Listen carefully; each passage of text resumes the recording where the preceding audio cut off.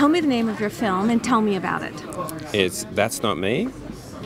And, And it's about an aspiring actress uh, whose identical twin sister ends up being more famous and successful than she is, and it's a comedy. And I understand you play both parts. I do, I do. I'm in every scene, sometimes twice. That's what happens when you write for yourself. And I understand that you are a couple in real life also. How is that working together?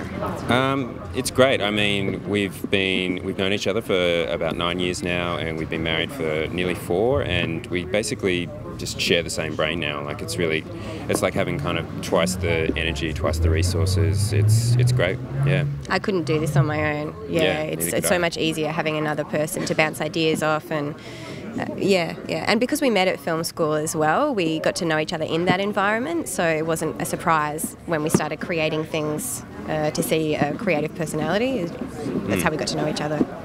Now I understand also it's the world premiere tonight. Yes. Yeah, How does it feel to have your film have its world premiere at the Santa Barbara International Film Festival? it's Uh, so exciting. it's yeah, it's exciting. Like I mean, there's it, like it's just the festival itself is is so so well attended and like the the crowds are so knowledgeable and enthusiastic and the, the questions that we've seen at the films that we've seen.